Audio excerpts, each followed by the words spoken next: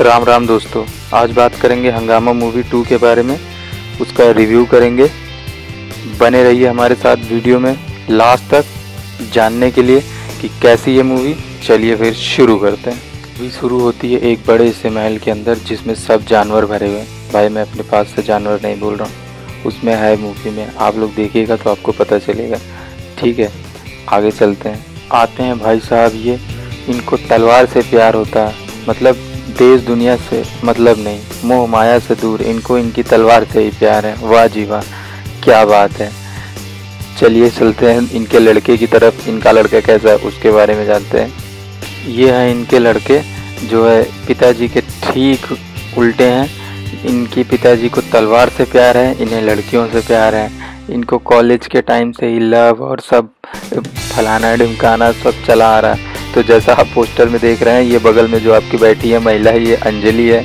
यानी कि जो परेश रावल है पिक्चर में, उर्फ़ तिवारी जी, उनकी वाइफ है। तिवारी जी को लगता है कि मेरी वाइफ से इस लड़के का कुछ कनेक्शन है। वैसे तो पिक्चर में दिखाया गया है कि ये लड़की और इस लड़के के बीच में एक तरह का होता नहीं है भाई बहनों वाला प्यार, उस तरह का ही कुछ है। बट तिवारी को ये नहीं समझ में आता, तिवारी को लगता है कि हाँ कुछ तो चल रहा है मेरे बीच, इसके बीच में। तो भाई चले भी क्यों ना क्यों ना सबका कीड़ा दौड़े। बीवी इतनी खूबसूरत जो है, पूरा मोहल्ला छोड़िए, पूरी, पूरा शहर जो है, इश्क लड़ाने के चक्कर में बैठा हुआ रहता। तो इसी वजह से पूरी पिक्चर में तिवारी जी लड़के के ऊपर काफ़ी बार वार वार करते हैं मारते वारते हैं। तो ज़्यादा कुछ खास नहीं था और जो डायलॉग्स वगैरह, वो वो सब भी बाबा आदम जमाने के घिसे पिटे हैं। ये हमारे जो परेश लावल भाई साहब हैं, ये पिक्चर में काफ़ी केस लड़ चुके हैं तो अब इनके अंदर शक का कीड़ा दौड़ता है। यानी कि ये कह सकते हैं आप कि जासूस टाइप का जो होता है, उस तरह का कीड़ा है कि मेरी बीवी का किसी के साथ कनेक्शन है। अब वो पूरी पिक्चर में यही मतलब दिखता है कि हाँ वो लड़की के पीछे पड़े हैं, कैसे ना कैसे करके हम देख लें कि हाँ इन दोनों के बीच में कुछ गलत कनेक्शन है। फिर आती है ये लड़की, सबकी फसाद की जड़। है बिल्ली की पूंछ। भाई मैं ऐसा इसलिए बोल रहा हूँ क्योंकि पिक्चर में ऐसा ही है। ठीक है, मैं अपने पास से नहीं बोल रहा हूँ कि आपको लगे कि छोटा बच्चे को ये क्या बिल्ली की पूछ और पता नहीं क्या क्या बोले जा रहा है। तो आप पिक्चर देखेंगे तो आपको समझ में आएगा। बात करते हैं एक्टिंग के बारे में इनकी।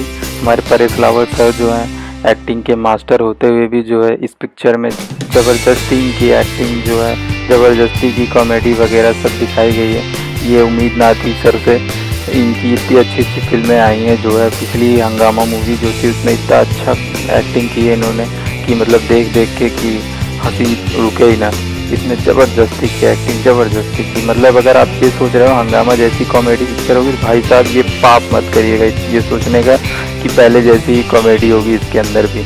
फिर आती है हमारी ये मैम जो है, शिल्पा शक्ति जी, जो पिक्चर में अंजलि का रोल किए हैं। इनकी भी मतलब ज़बरदस्ती की कुछ भी एक्टिंग मतलब कोई वही नहीं कि हाँ एक्टिंग किए जा रहा है, बस रोल मिला है तो एक्टिंग कर रहे हैं। कुछ खास नहीं, जिस तरह से कॉमेडी होनी चाहिए, उस तरह से कॉमेडी थी नहीं, जो है, और गाने में तो इन्होंने देखा ही आपने, जो है जैसा गाने में इन्होंने डांस वगैरह किया है तो गाने तक ही ठीक है ये। बाकी एक्टिंग तो कुछ खास नहीं लगी।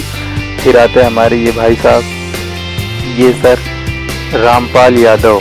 ये तो चेहरा ही वो है कि जो देखते ही हँसी आने लगे। लेकिन ये भाई साहब भी कुछ खास नहीं किए हैं। जो है इन्होंने भी सेम वही चीज़, ज़बरदस्ती की एक्टिंग ज़बरदस्ती की कॉमेडी ये मान लीजिए कि अढ़ाई घंटे आपके अगर फालतू हों, आपसे ना काटे जा रहे हो तो आप इस पिक्चर को देख सकते हैं। अदरवाइज़ ये पिक्चर जो है है जो है तो है है बस पिक्चर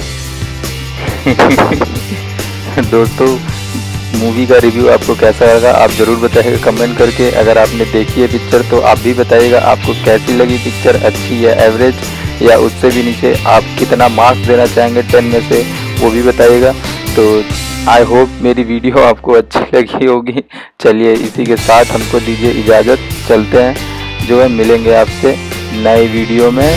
तब तक के लिए